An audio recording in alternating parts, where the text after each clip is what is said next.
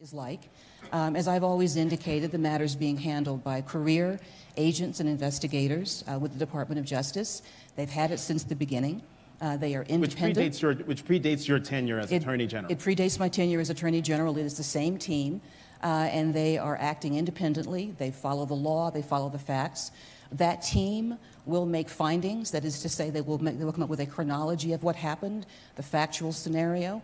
They will make recommendations as to how to resolve what those facts lead to. Um, those, the, the recommendations will be reviewed by career supervisors in the Department of Justice and in the FBI, and by the FBI director. Uh, and then, as is the common process, they present it to me, and I fully expect to accept their recommendations.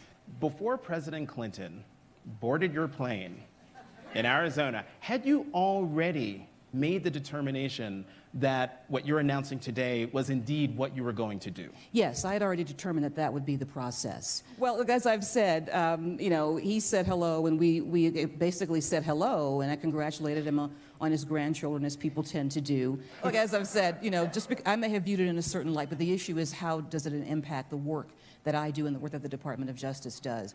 And I, was, I certainly wouldn't do it again. Um, and um, you know because I think it has cast this shadow over what it should not, over what it will not touch, and that's why.